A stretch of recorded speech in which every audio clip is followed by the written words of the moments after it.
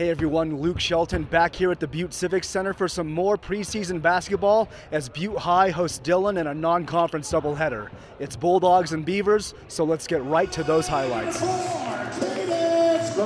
Girls up first, and Dillon under new leadership with Josh Keller, the Beavers' next head coach. And his team facing a tough road test this evening as Catherine Scholey with the toss to Caden Scram, and the freshman buries it to put the Bulldogs up by three in the first quarter. And now some nice passing from the Bulldogs, and they'll cap it off with a bucket from Ashlyn Mullaney, and Butte holding the lead. On to the second quarter, Beavers still trailing, but here's Kenley Graham wrestling the ball away from a pair of Bulldogs, and the junior is going to take this one the distance and she'll get the shot to fall and make it a two point game. That sparks the Beavers who roll from there to a 71 54 win.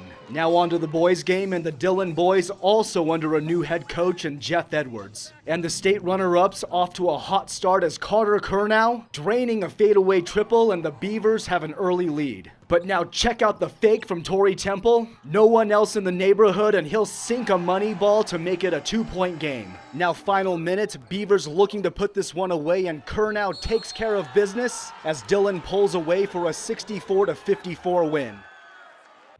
And I'll be back here on Friday as Butte High and Butte Central clash in their annual crosstown game. In Butte, Luke Shelton, MTN Sports.